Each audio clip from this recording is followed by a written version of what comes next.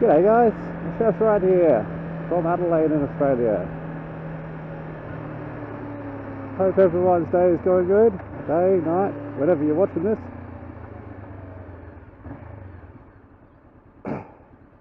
As you can see the sun's going down right now.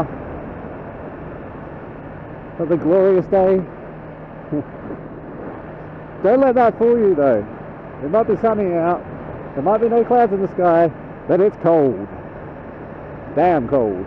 Okay, it's not that cold. If you compare it to, you know, some of the more snowier parts of the world, it's not cold. But for me, it's cold.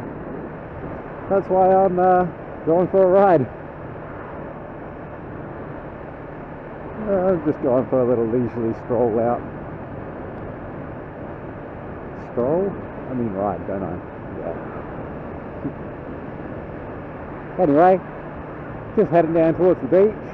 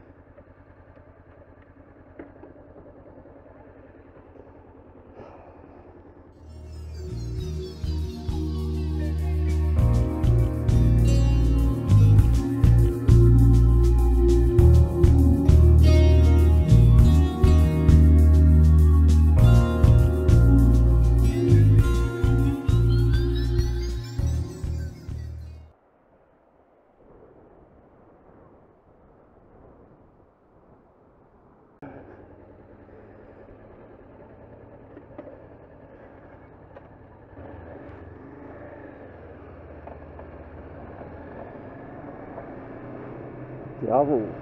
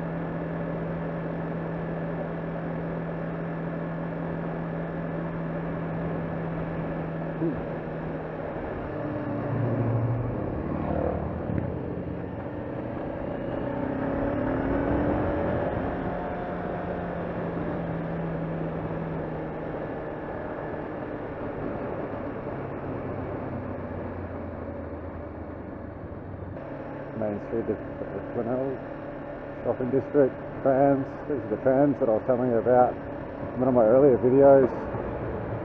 Ones that go all the way from town out to here, to Glenelg. What should you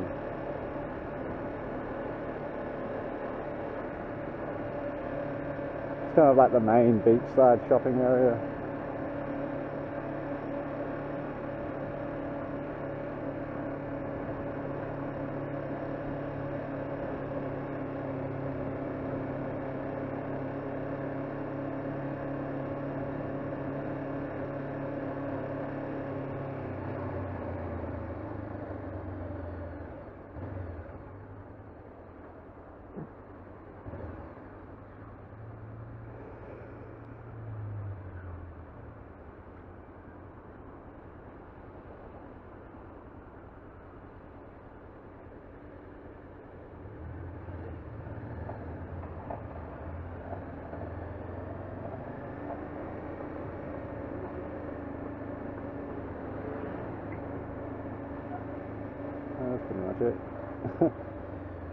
Nothing exciting really.